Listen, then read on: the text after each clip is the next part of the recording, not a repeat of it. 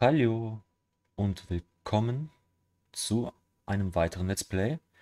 Jetzt kommt der dritte Teil der Reihe, auf den ich persönlich sehr, sehr lange gewartet habe. Und ich habe jetzt extrem Bock auf den Teil, also wirklich, ich habe eigentlich auch nur wegen dem Teil die ganze Insane-Trilogie angefangen zu spielen. Mehr oder weniger. Also es war schon cool, die beiden Vorgänger zu zocken halt, nicht falsch verstehen. Aber auf den Teil habe ich mich am meisten gefreut. So, und zwar kommt jetzt. Es ist Crash Bandicoot. Ganz genau. Es ist Crash Bandicoot Warped, der dritte Teil. Und ja. Ich würde mal sagen, legen wir los.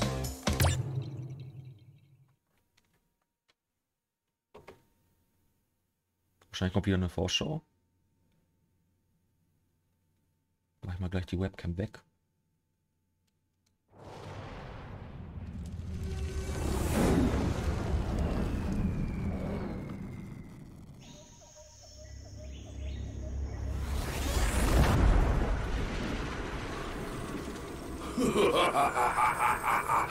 Endlich frei.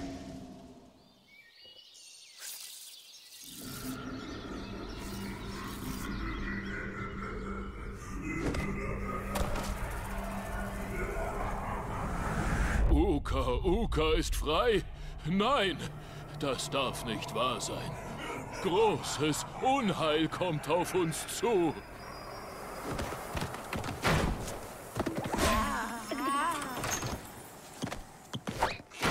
Niemand wagt es, den großen Uka Uka einmal zu enttäuschen. Aber du, Cortex, du hast mich zweimal enttäuscht. Großer Uka Uka, es war dieser verflixte Beuteltax. Tief aus meinem Tempelgefängnis heraus habe ich dir einfache Anweisungen geschickt. Doch du hast die Edelsteine verloren, du hast die Kristalle verloren und ich, ich habe die Geduld verloren. Es gibt keine andere Energiequelle auf diesem Planeten. Ich weiß, wir hatten ein paar bedauernswerte Rückschläge. Du hast versagt. Aber weil deine Stümperei mich freigesetzt hat, fühle ich mich großzügig. Es gibt noch eine Möglichkeit, die nötige Macht für die Versklavung dieses Planeten zu bekommen. Und dieses Mal, dieses Mal sorgt der große Uka Uka dafür, dass du es richtig machst. Nach Äonen wurde mein böser Zwilling Uka Uka aus seinem unterirdischen Gefängnis befreit. Ich habe ihn dort vor langer Zeit eingesperrt, um die Welt vor seiner Bosheit zu beschützen. Jetzt ist er wieder frei und er muss aufgehalten werden.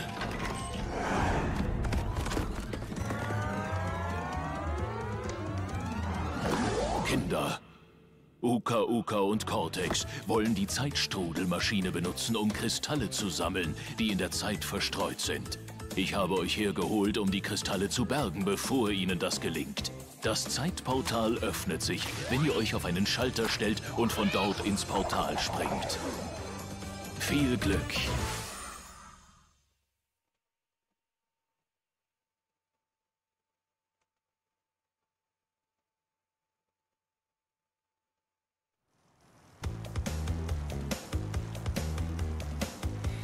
Ja, hier bin ich wieder.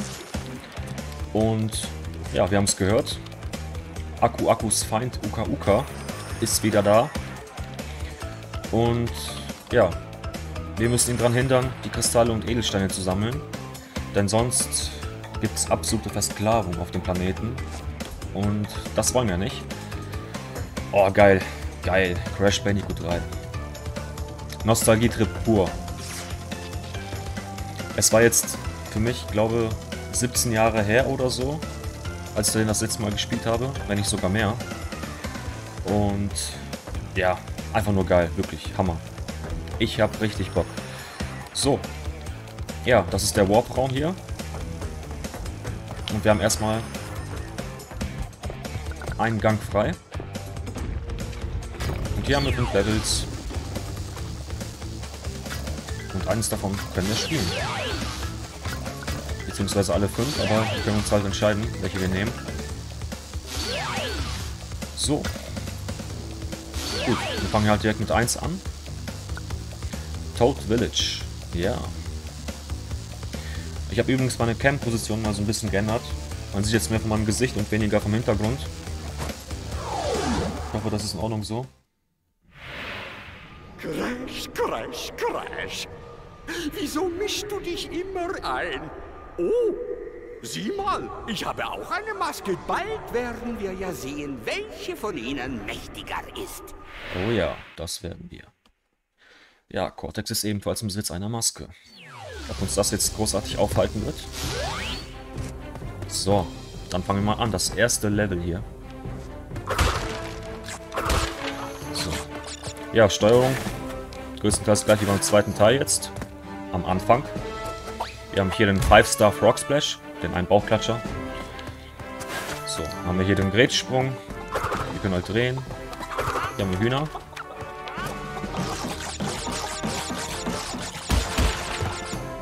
Ist das jetzt so wie bei Zelda? Kann ich den angreifen?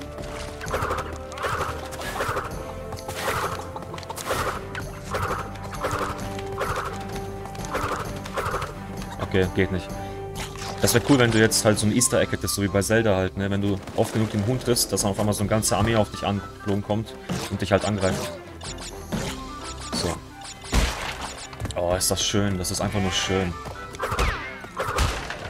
Komplette Neuauflage von Crash Bandicoot 3. Das ist ein Traum. So. Akku, Akku. Dich werden wir öfters brauchen wir.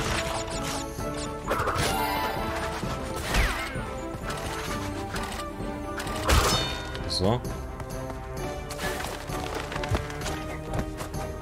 Da haben wir Küsten Frosch. Aber das wollen wir besser nicht tun. Tschüss. So, unser erstes Bonuslevel in diesem Spiel. Oh, einfach nur geil, die Mucke und so auch, ne? Einfach nur die fette Neuauflage vom dritten Teil, ich kann es kaum fassen.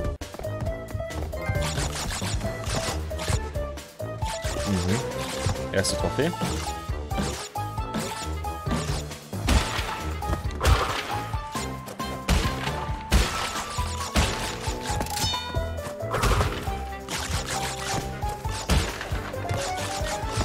So, und das war der erste Bonuslevel.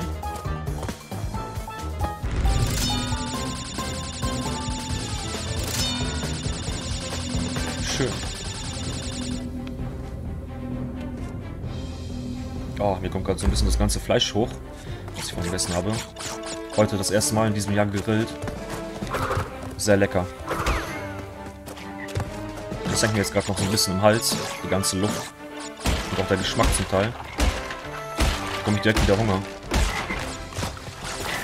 So, Fisch den Frosch. Fisch den Frosch.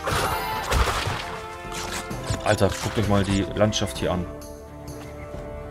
Schön, das haben die echt geil gemacht, wirklich. Richtig schön verbessert alles. Geile Textur, wirklich nice. Top. Einfach nur gute Arbeit gemacht haben die Jungs hier. Bei Cardias Visions. So, und da haben wir den ersten Kristall. Nehmen wir direkt mit. Sorry, Cortex, die waren schneller als du. So. Zwei Kistchen noch, da sind sie. Und ein Edelstein. So, das war das erste Level. Das ging doch mal locker pur. Aber wie wir wissen, vom ersten und vom zweiten Teil, wird es nicht immer so locker laufen. So, und ich sage es hier an der Stelle nochmal. Oder was heißt nochmal? Ich habe es noch gar nicht gesagt. Entschuldigung. So, bei Crash Bandicoot 3 gab es auch einen originalen Relikte. Und ich bin eigentlich nicht so der große Fan von Zeitrennen, also da, wo du halt einen Countdown hast, wo du halt so schnellstmöglich ein Level abschließen musst oder allgemein irgendwas, wenn es jetzt irgendwie so ein Schwimmlevel ist, wo du halt eine Luftbalken hast oder so, dass du dich da beeilen musst, sowas. Ich mag sowas überhaupt nicht. Ähm, aber, ich habe es beim ersten und zweiten Teil nicht gemacht. Bei dem Teil werde ich Relikte sammeln. Und zwar aus dem Grund, wir schalten Levels frei mit einer bestimmten Anzahl von Relikten. Und ich würde gerne diese Level hier im Let's Play auch zeigen wollen, beziehungsweise spielen wollen. Deswegen machen wir das jetzt. Und ich denke mal, hier haben wir das erste Level, wo wir den Relikt auch gleich schon mitnehmen können. Gleich. Und das werde ich auch machen. Ja. So. Jetzt muss ich so ein bisschen hier... Okay, mit X schwimmt er ein bisschen schneller. Alles klar. So. Okay. Bin schnell drin. Ah, da steht es jetzt drauf. Alles klar. Gut, dass es noch erklärt wird hier. Äh. Ah, okay, ging.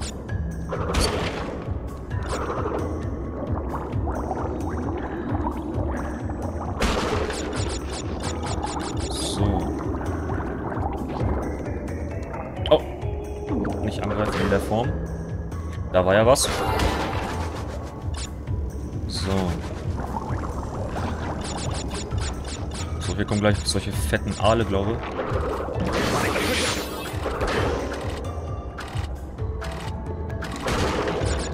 So.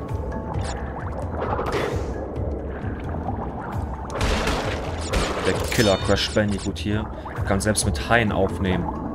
Mann, Mann, Mann. Bestimmt automatisch noch, ne? Nee. So.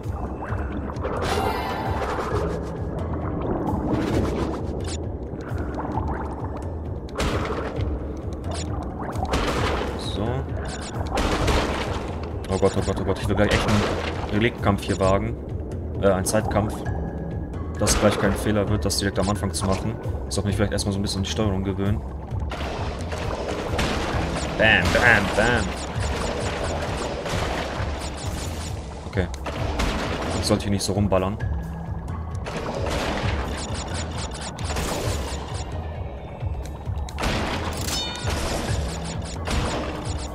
So.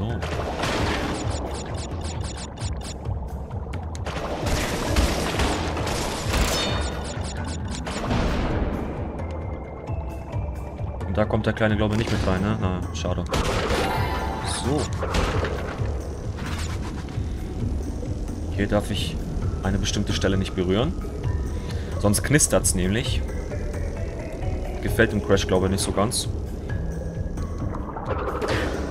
So. Schwimmen wir dann vorbei. Nehmen hier wieder unseren Torpedofisch mit. Ich habe früher mal gedacht, das wäre ein echter Fisch gewesen. Der immer sowas ballern konnte. Aber jetzt, wenn man älter wird halt, ne? Merkt man, dass so einiges nicht echt ist. So. Oh. Okay, das konnte der auch. Alles klar. Vorsichtig.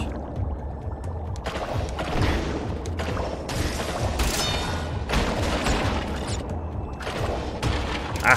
Hätte ich ein bisschen aufpassen müssen. Naja.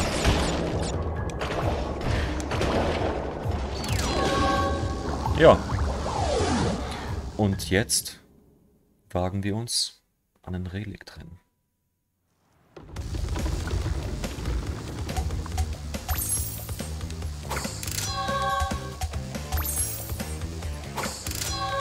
So. Ja.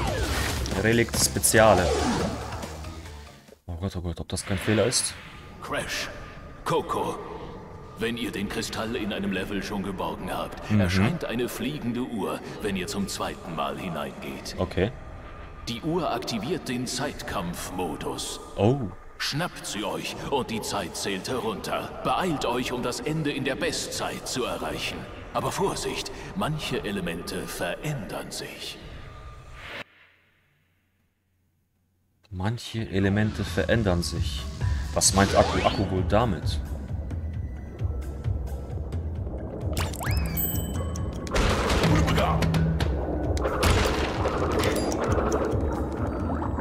Oh wei, oh wei, oh wei.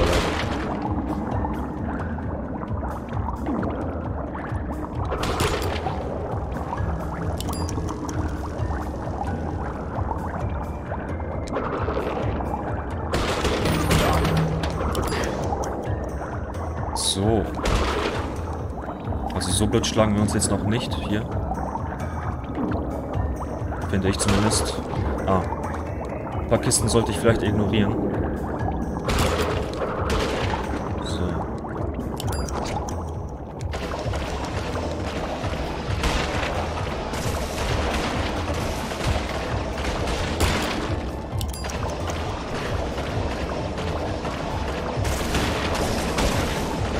Ah, da habe ich eine 3 Sekunden Kiste vergessen. Das ist nicht gut.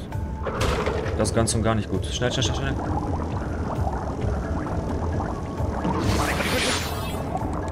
Ich riskieren. Sorry, Akku, Akku.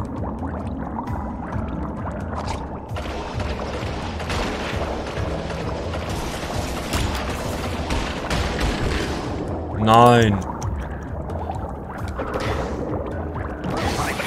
Egal.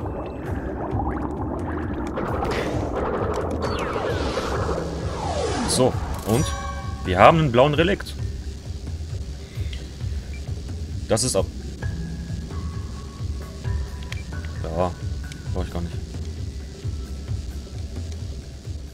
Das hat jetzt ein bisschen gedauert. Aber ein brauer, blauer... Bläh, bläh. Ein blauer... Äh, blauer... Ein blauer Relikt ist allerdings nicht gut. Denn es gibt, soweit ich weiß, einen Edelstein. Den bekommt man nur, wenn man mindestens überall Goldrelikte hat. Deswegen muss ich das Level leider nochmal spielen. Es tut mir an der Stelle leid.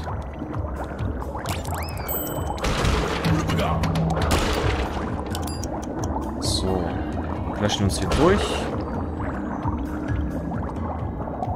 Sorry, ich habe keine Zeit zum Spielen, meine Kumpel. So.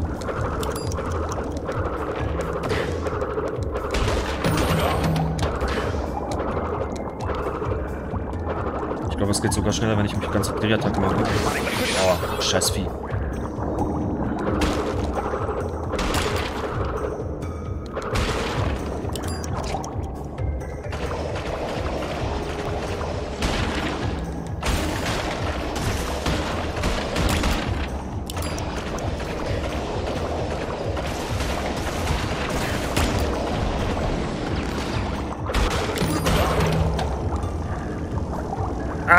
Shit. Der bin ich doch hängen geblieben. Komm, komm, komm, komm, komm. Weiter, weiter, weiter, weiter, weiter.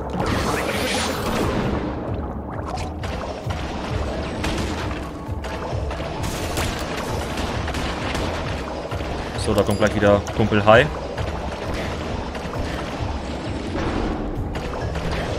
Schneller, schneller. Und? Wir haben Gold. Genau das wollten wir. Wunderbar.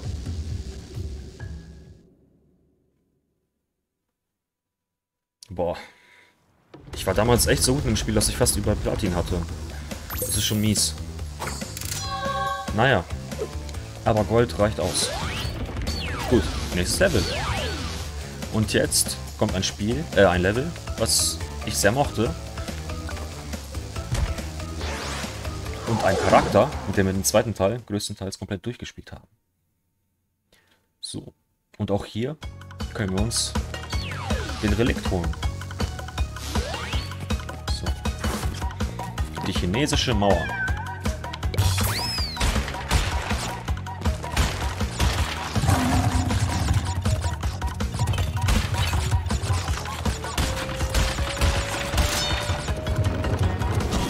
Oh. Oh. Voll süß.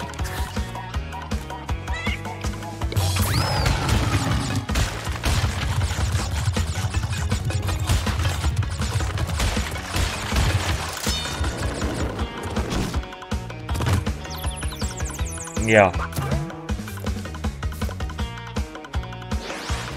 Wir wollen natürlich auch alle Kisten mitnehmen.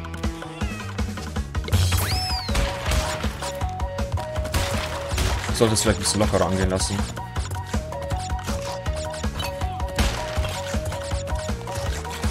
Ah, oh Gott, da war keine Lex gehabt hier.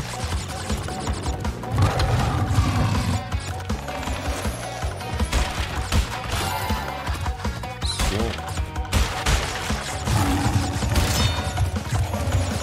Oh, das war jetzt knapp.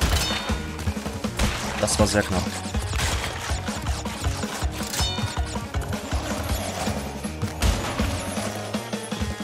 Schön. Paar gemeine Drachen hier.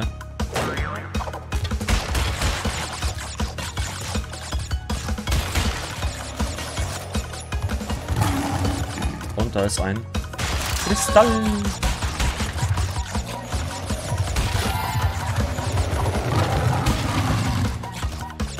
Als ob ihr so einen laufenden Tiger hier was anhaben könnt. Oh. Alles klar. Das ist wieder ein bisschen anders wie bei Crash Bandicoot 2 mit dem Poller. Du kannst nämlich die Taste gedrückt halten und dann sprintet hier komplett durch. Leider auch in der Luft. So. Ja, wir haben alle Edelsteine. Oh, das wäre jetzt mies, wenn ich da jetzt oben dran abgekratzt wäre. Oh. Gib Pfötchen, gib Pfötchen, komm. Nein, natürlich nicht. Das wäre jetzt mies gewesen. Kurz am Ende nochmal einmal abzukratzen. Schön. Und auch in diesem Level holen wir uns den Goldrelikt. Mindestens den Goldrelikt. Wenn wir Platin schaffen, nehme ich gerne mit. So, Crash, du musst leider deiner Schwester einen Zugriff geben. Du hast dann Spaß bei Polar gehabt. Uka Uka und Cortex wollen, dass Tiny Kristalle holt und bringt zu großes Kolosseum in Rom. Nur über meine Leiche. Gibt oder Crash platt gemacht wird. Nur über meine Leiche.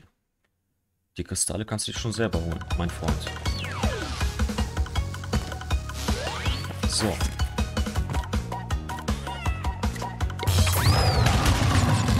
Ah! Oh, das ist jetzt doof. Jetzt will ich ein Leben. Bin jetzt gerade an der Uhr vorbeigelaufen.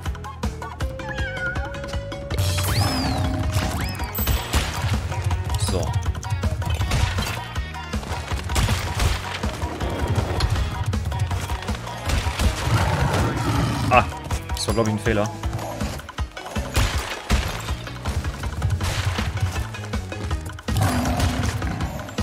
Akku, Akku. Ja. Oh, Mist.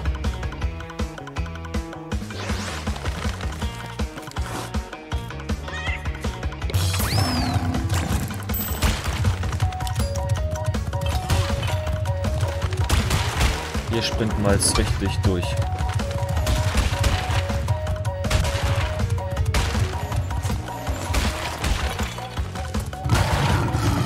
Vollspeed Karacho.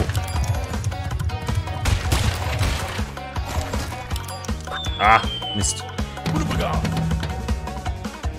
Ich muss dran denken, dass sie auch in der Luft anhält, wenn du den Knopf loslässt. Ist ein bisschen blöd mit der Einschätzung hier. Naja. Wir verlieren ja keine Leben. Gott sei Dank.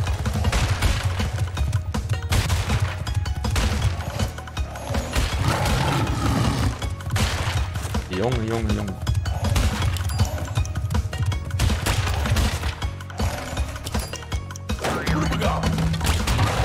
So wollte ich das. Eieiei.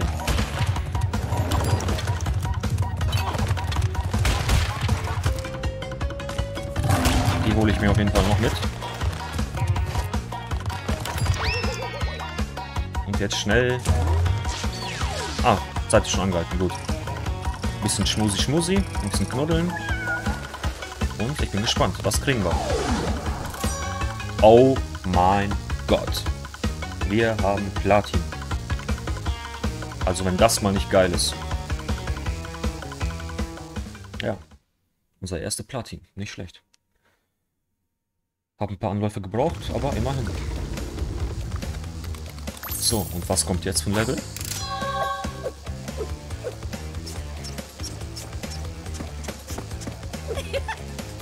Ja, das war der Coco Dance. Jetzt kommt Boneyard. Hm, Yard, Feld oder was heißt Yard? Knochenfeld. Ist auf jeden Fall ein etwas, ja, ein Level, das etwas weiter zurückliegt. Oh ja. Und los geht's.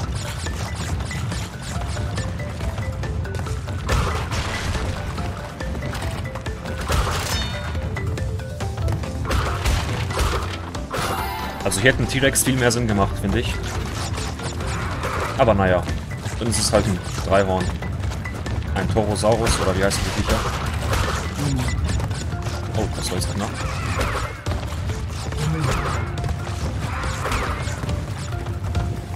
So.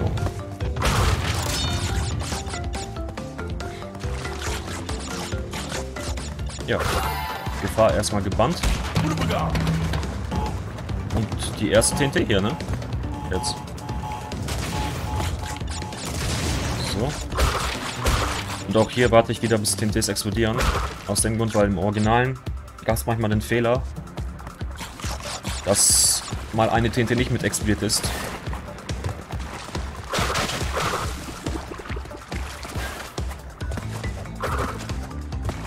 Habe ich ihn erwischt? Und ja, wir sehen hier den ersten Edelstein, den brauchen wir.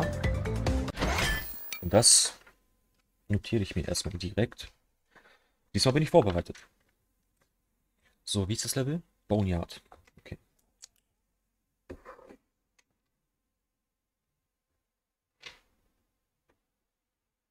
Das war ein roter, glaube ich, ist das, ne?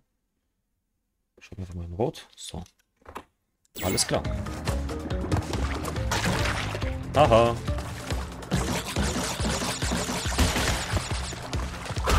Mich, du wirst nicht kriegen. So.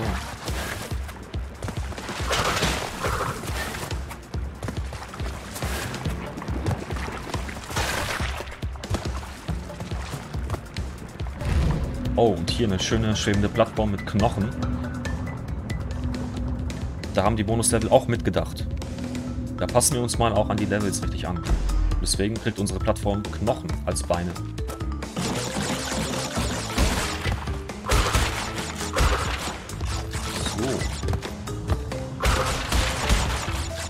Aufpassen. Die nehmen wir nämlich auch gerne mit, ne? So. Schön in die Hocke. 14 von 14. Es geht weiter.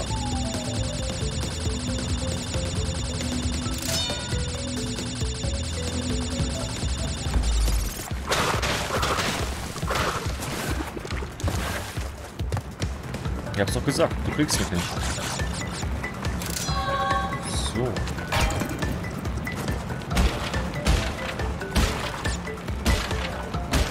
Okay, hat das jetzt irgendwas zu bedeuten gehabt?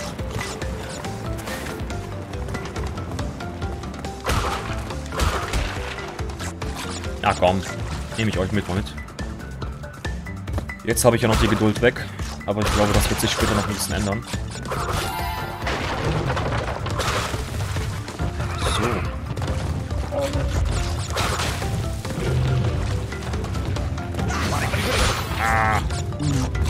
Nicht gut, diese. Mhm.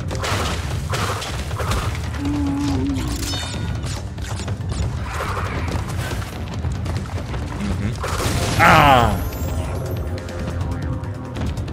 Da freut sich ja jemand.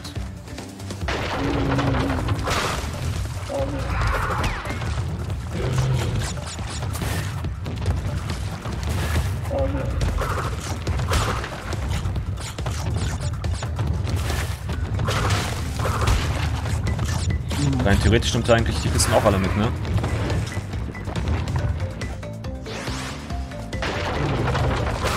Okay, jetzt aber richtig.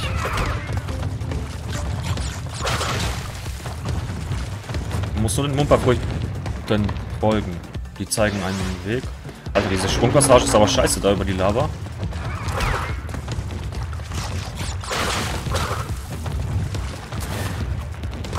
Nur so geht das. Komm, du hättest auch ruhig anhalten können und die ganzen Äpfel verputzen können. Äh, Wumperpilze verputzen können, ne? Ich habe extra für dich da gelassen.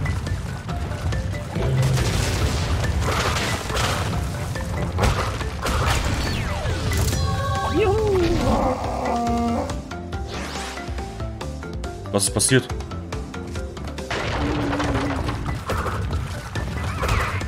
Was war das? Hat er mich am Ende noch gekriegt? Oh, und ich wollte so einen coolen Bauchklatscher noch machen. Ins Warp-Raum rein. Oh, Mann. Ja. Meine Schuld.